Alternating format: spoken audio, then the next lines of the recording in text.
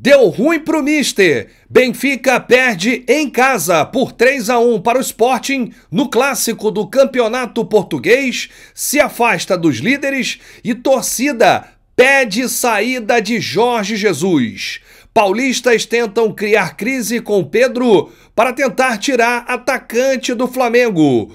Hugo Souza, destaque no jogo de ontem, se emociona e abre o jogo. Essas e outras a partir de agora no seu canal Raflamelo. Cola, cola, cola, cola esse dedo no like, ajude muito o nosso canal. Continue compartilhando os nossos conteúdos. Se você ainda não é inscrito aqui embaixo, tem um botão vermelho. Você se inscreve. Não se esqueça de ativar o sininho para receber todos os nossos vídeos. Raflamelo 81 nossa gente. Vem comigo, assiste até o final, não pule se quer uma parte, porque tem muita informação do rubro-negro mais querido do Brasil e do mundo.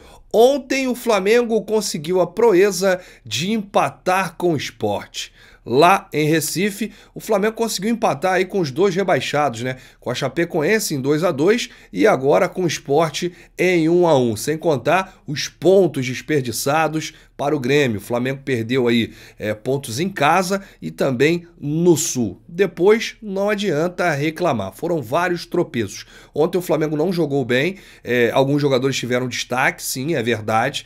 Mas quando o melhor jogador da partida é o goleiro Hugo por aí você pode ter uma ideia que o esporte, em determinados momentos, teve a chance de matar o jogo. Uma bola, o Davi Luiz salvou quase que em cima da linha, já estava sem goleiro, e o restante aí, o Hugo Souza fez três, quatro, cinco grandes defesas, defesas difíceis, e a gente já entra nesse assunto aqui, até porque ontem foi um amistoso do Campeonato Brasileiro, estão dois amistosos aí para o Flamengo completar esse campeonato, não perde mais a segunda colocação, vai receber 31 milhões e 300 mil reais, é o prêmio para o vice-campeão do Brasileirão e o Flamengo ainda vai cumprir tabela com o Santos na próxima segunda-feira no Maracanã e na última rodada contra o Atlético Goianiense fora de casa. O Flamengo informou que o atleta Michael sentiu dores na região anterior da coxa direita. Será reavaliado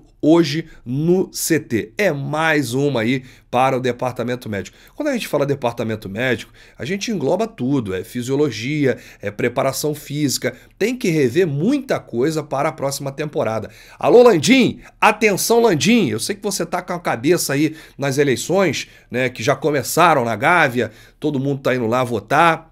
Agora, vamos prestar atenção aí e profissionalizar e corrigir os erros para a temporada 2022. Não dá para a gente ter um time inteiro no departamento médico. Né? São 10, 11, 12 jogadores aí, ou lesionados, ou com desgaste físico. Não dá. E até o Michael, na reta final aí, se machucou, sentiu dores ontem, teve que ser substituído. Realmente tem muita coisa errada para a gente consertar para a próxima temporada. O goleiro Hugo Souza, que foi o destaque, para mim foi o melhor em campo campo aí do Flamengo, evitou uma derrota, né? O Flamengo saiu com um empate aí, era para ter vencido pelas chances é, que o Flamengo teve no jogo, né? Criou várias chances e desperdiçou também muitas chances. Foram vários gols perdidos.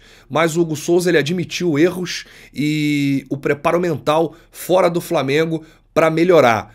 As palavras do, do Hugo eu trago aqui para o torcedor, porque são palavras que tocam, né? E que mexem com a gente. O Hugo é um garoto, na minha opinião, tem tudo para ser o goleiro titular do Flamengo. Vai explodir no futebol, eu não tenho a menor dúvida. Claro, tem que colocar a cabeça no lugar e é isso que o Hugo está fazendo. E o Hugo disse o seguinte após o empate: o impacto é grande, minha trajetória, não só a minha, mas de qualquer jogador, tem altos e baixos. Eu tive falhas sim, dentro de campo e fora dele, mas trabalhei, trabalhei principalmente a cabeça, dentro de campo e continuo trabalhando. Graças a Deus, as oportunidades apareceram. Hoje, infelizmente, ontem, né? Infelizmente, não saímos com a vitória, mas gostei da atuação continuar trabalhando, mantendo foco, porque o intuito é ajudar o Flamengo sempre, sempre em prol do Flamengo. E para ajudar o Flamengo, eu preciso estar com a minha melhor forma, mental e física. E foi isso que eu trabalhei, com a ajuda da minha família, amigos, namorada e principalmente com o staff do clube que tiveram diariamente comigo. Realmente voltei para a terceira opção e hoje volto jogando, mas não deixei de trabalhar. Vou continuar trabalhando para, se Deus quiser, continuar conquistando oportunidades. Essa essa reta final significa isso para mim. Se tiver oportunidade de jogar novamente, será com foco total para ajudar o Flamengo na melhor forma possível. É isso, Hugo. Tem que botar a cabeça no lugar, é, esquecer tudo, é, os problemas extra-campo, se dedicar cada vez mais, porque você está construindo a sua carreira e já já você pode virar ídolo sendo titular do gol do Mengão. Depois de seis anos, o Sporting voltou a vencer o Benfica no Estádio da Luz. É verdade, em uma partida que aconteceu ontem pela 13ª rodada do Campeonato Português. O jogo terminou 3 a 1 para o Sporting.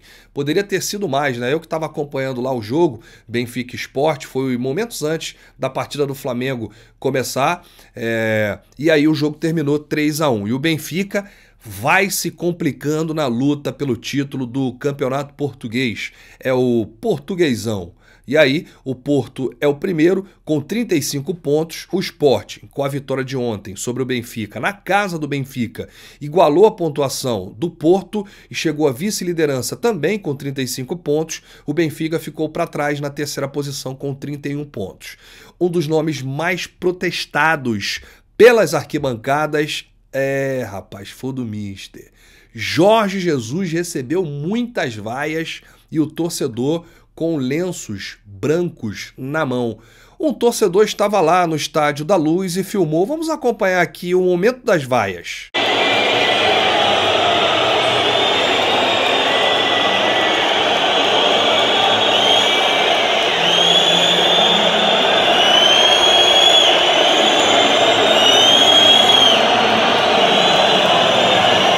os torcedores ainda acenaram para o Mister com um lenço branco. O lenço branco é como se a torcida não quisesse mais o treinador. Né? Isso aí é comum lá na Europa, é um sinal de adeus. E a torcida, insatisfeita com o trabalho de Jorge Jesus, pedindo a sua saída. O Jorge Jesus ele falou sobre esse momento da torcida, sobre os lenços brancos, e disse o seguinte: não digo que essa relação seja normal, porque o Benfica não está acostumado a perder, muito menos eu que em 16 ou 17 jogos com o esporte perdi dois ou três. Mas repito, não é um jogo que se resume este início de temporada.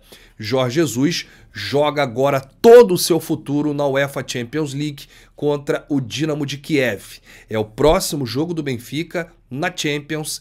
Caso o Benfica perca para o Dinamo de Kiev, está eliminado da maior competição internacional de clubes. Se o Benfica vencer, tem chance aí de se classificar e passar para as oitavas de final. O grupo do Benfica ainda tem o Bayern de Munique na liderança e o Barcelona na vice-liderança. O Barcelona vai enfrentar o Bayern de Munique na Alemanha, que é muito difícil vencer o Bayern lá na Alemanha. E o Jorge Jesus vai jogar o seu futuro aí na Champions contra o Dinamo na quarta-feira que vem e depois o Benfica vai enfrentar o Porto em duas oportunidades, ainda em dezembro, pela Taça de Portugal. O primeiro duelo vai acontecer no dia 23 de dezembro e o jogo da volta vai acontecer no dia 30 de dezembro.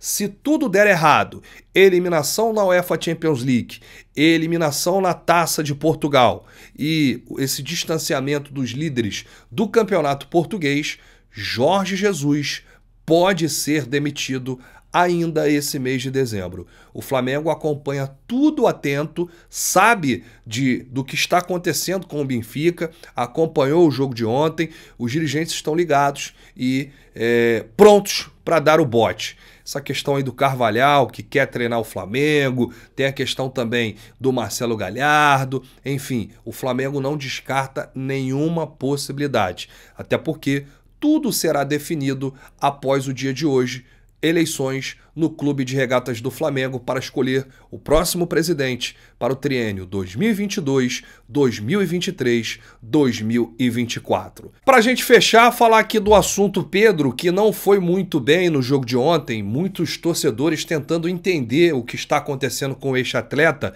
mas o que chama atenção, e eu reparo muito, inclusive na transmissão do jogo ontem, todo mundo tentando criar uma crise com o nome do Pedro. Quando eu digo todo mundo, eu não gosto de generalizar, mas alguns jornalistas, alguns torcedores de clubes rivais tentam fazer aí né, uma crise em relação ao Pedro no Flamengo, porque o Corinthians tem interesse neste atleta e o Palmeiras também. A Leila colocou como prioridade a contratação de Pedro. Olha, só chegar aqui e pagar a multa, o Flamengo não vai liberar e o Pedro está focado.